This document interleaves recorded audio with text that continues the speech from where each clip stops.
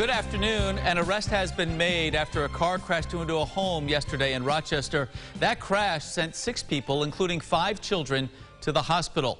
We have photos from the scene the day after the crash now. Police responding to that home on Thomas Street around 5.30 yesterday, and you see the damage in these photos. Officers say the injuries from that crash are non-life threatening.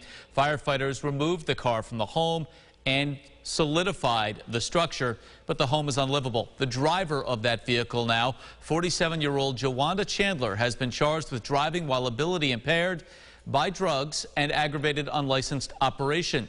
The Red Cross is assisting the family.